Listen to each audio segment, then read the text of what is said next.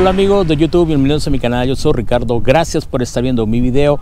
Y hoy le vamos a echar un vistazo a una retroexcavadora de 11 canales, se ve muy bonita, ya tiene rato que no hacía un video de un juguete así, eh, yo creo que el último fue en el 2012, algo así, a la fecha de este video, y fue con mis hijos y de hecho ya mis hijos ya se ven grandototes, entonces vamos a echarle un vistazo a esta retroexcavadora.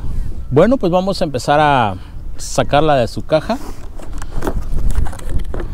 Vamos a ver cómo nos las mandan. Aquí tenemos la máquina. Mm, se ve bonita. Sí, a grosso modo se ve bonita. Vamos a hacer esto por acá. Que no se lo lleve el aire porque estamos como siempre eh, grabando enfrente de la bahía. Aquí en las instrucciones dice que es de 2.4 gigahertz. 11 canales. Eh, vienen todas las especificaciones en chino de cómo se opera el sí en chino y, parte en inglés la, excavadora. Ok y también en la misma caja nos mandan esta bolsita donde viene el cable para cargar la batería vía USB un desarmador y este tornillito que me imagino que es para sostener lo que es las baterías Ok, pues vamos a sacarla de este empaque de plástico en el que la mandan. Vamos a poner esto por acá. Y el control remoto viene aquí en lo que es la pala. Vamos a poner esto por acá para que no se lo lleve el aire. Miren qué bonito viene esto empacado. Es de la marca Gigon. El modelo es la YG258C. El control viene en esta bolsita de, de plástico de bolitas. Usa dos baterías AA y como dije hace rato es de 11 canales, o sea que podemos operar o manejar 11 cosas con este control. Eh, podemos ver aquí muy bien acabadas sus palanquitas, muy bien detallado. Por aquí trae unas antenas, no sé si sean de show o nada más para darle un poco de autenticidad a este a este juguete ok aquí dice que es para adelante para atrás que gire a la izquierda que gire a la derecha que eh, todo el cabezal de la retroexcavadora gire en su punto hacia la izquierda y hacia allá hacia la derecha. Y camine hacia adelante y camine hacia atrás. Su botón de encendido eh, trae aquí un símbolo como de una nota musical, pero en realidad esta excavadora, por eso fue que la, la quise traer al canal, trae simulación de, de, sonido del motor. Cuando le aprietas este botón, estando ya encendida, hace como que se arranca el motor. Y cuando mueves algunos de estos mandos, eh, aparte de que ejecuta la, función física, hace también un, un, sonido.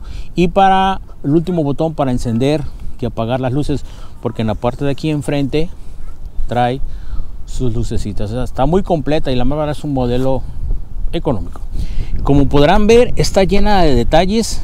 Tiene aquí la cabina del piloto, ahí se ve adentro el piloto. Trae eh, aquí unos limpiadores simulados, limpiadores del parabrisa adelante y aquí atrás. Miren qué bonito. Ah, trae esta tapa que se levanta y trae una varita que se levanta aquí así para eh, simular el motor cuando le vas a echar mecánica o para que lo abras y este puedas ver ahí el motor y hacerle ahí como al cuento no por acá este lado trae como unas salidas de, de, aire. Como lo dije hace rato es marca Jean Join el modelo YG258GC perdón. Por acá viene lo que son las eh, las orugas muy bien detallado con sus llantas.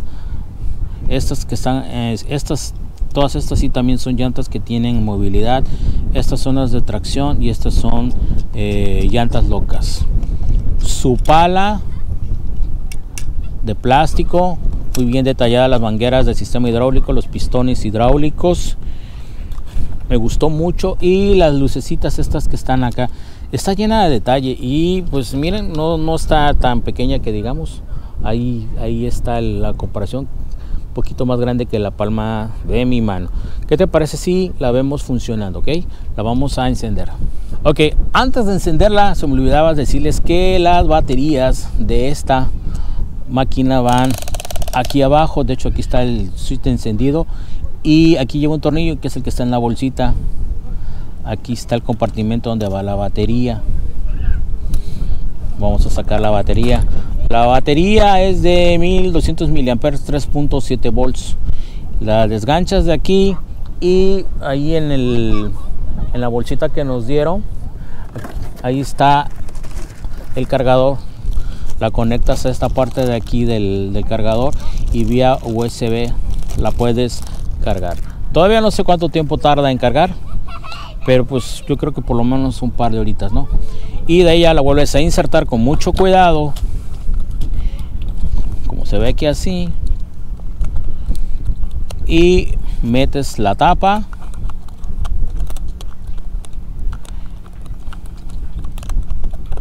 Y estamos listos para trabajar. La podemos regresar. Y aquí está el switch de encendido que una vez de una vez la vamos a encender vamos a encender el control remoto primero aquí y luego vamos a encender la retroexcavadora acá. Hizo un pip y aquí tengo una lucecita. Ok ahí empezó a, trabajar. Voy a creo que es esta es la de la brazo de la pala. Ahí está lo sube y lo baja. Se parece mucho al modelo del review que hice anteriormente es un solo movimiento cíclico en subir bajar y recoger y vuelve a subir y toda la cosa no entonces es sube ahí podríamos girar hacia un lado hacia el otro y, eh, entregar lo que es la lo que recogió otra vez. Recoge gira vamos a darle a ver cuánto gira hasta ahí gira del otro lado giró bastante más de 360 grados perfecto entonces yo pienso que el punto medio es ese ok Ok, ahora vamos a checar lo que es las luces, a ver si se logra ver con la cámara. Voy a, a la hora que preste el botón, se van a encender las luces. ¿Se ven? Estas de aquí, ¿se prendieron? Ahí las apagué, ahí las encendí. Y ahora vamos a tratar de a ver, a ver si agarra el sonido del motor. Voy a este, arrancar lo que es el, motor de la, de la retroexcavadora. ¿Vieron cómo se oye el ruidito de la máquina, del motor? Y voy a moverla hacia un lado y hacia el otro para ver cómo se escucha.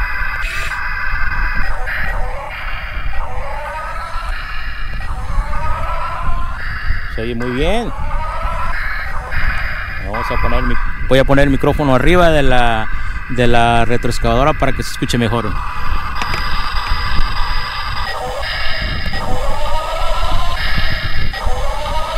bien entretenido, ¿no? Y aquí podemos apagar el motor. Ya terminé de jugar o de estar con ella y levantar montoncitos de arena, lo que sea, y aquí le apagamos el motor. ¿Oyeron? Se apagó el motor. A todo dar. Me gustó, me gustó. Es muy parecida a la, a la que hice el review hace años. Y si no quieres usarla con sonido, pues la puedes usar así, para adelante, para atrás que gire sobre su sobre su eje con las bandas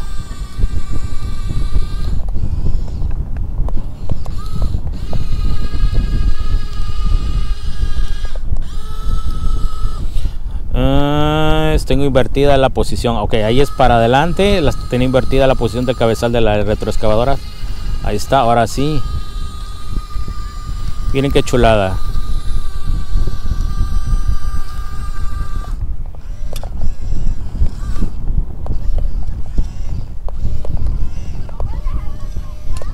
Me encantó, me encantó, me encantó, simplemente me encantó.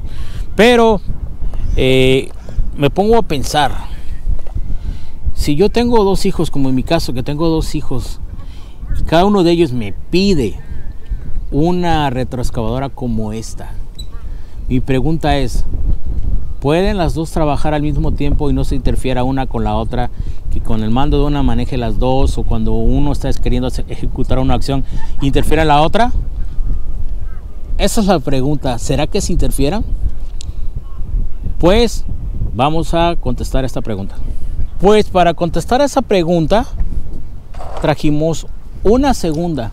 La vamos a poner aquí y vamos a ver si este mismo control eh, maneja las dos. Lo vamos, vamos a encender la primera retroexcavadora. Vamos a encender la segunda y vamos a encender el control original de esta y vamos a ver cuál es la que controlo o las dos o sigo controlando esta como vieron controló esta la, la, la, la que la, que no es su control pero no controlo la otra o sea este control remoto se conectó a una de ellas, pero no a las dos. Ok, voy a traer el otro control remoto de esta. Lo voy a encender. Y controlo la otra. Entonces quiere decir que sí puedo manejar dos al mismo tiempo sin que se interfieran una con la otra. Son controles remotos de 2.4 GHz cada uno de ellos, pero tienen una asignación digital, o sea que no son tan analógicos.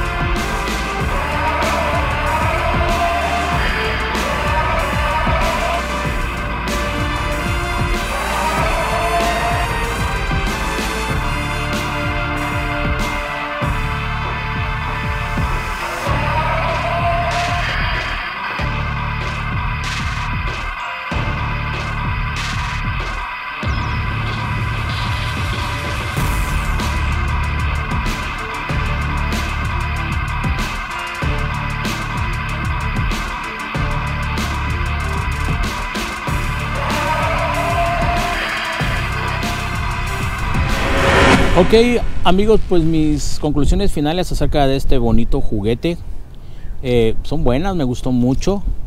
Eh, se ve muy original, funciona bien. El asunto este de que traiga luces, que traiga sonido, me encantó. Trabajan bien y si puedes comprar dos, eh, se ven muy bonitas las dos trabajando al mismo tiempo.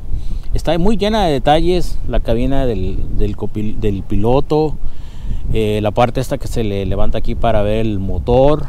Me encantó. La caja viene muy bien presentada.